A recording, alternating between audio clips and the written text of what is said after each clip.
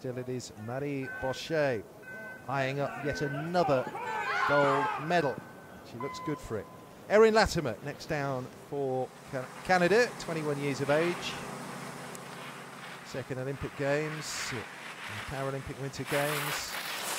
Seventh, eighth, ninth, a DNF on her Paralympic debut in Sochi four years ago. She was sixth in the downhill here at Pyeongchang 2018. Hunting down that marker of 34.68, 2.70. It's given her a lot to do. We haven't seen any of those times turn green since Marie Bochet came down for France, and she remains our leader here. The women's standing Super G events at Pyeongchang 2018. And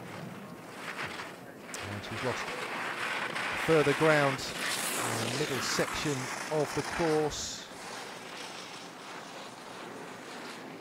Managing to correct herself, she's just got lost a little more time now, I'm afraid. And Latimer two sixth place finishes at the World Championships.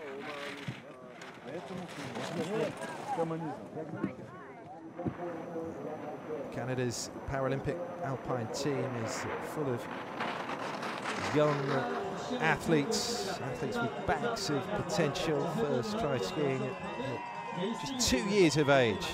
Phenomenal, really. Craigleith Ski Club in Ontario, over 10 seconds down. The lead of Marie remains absolutely protected here.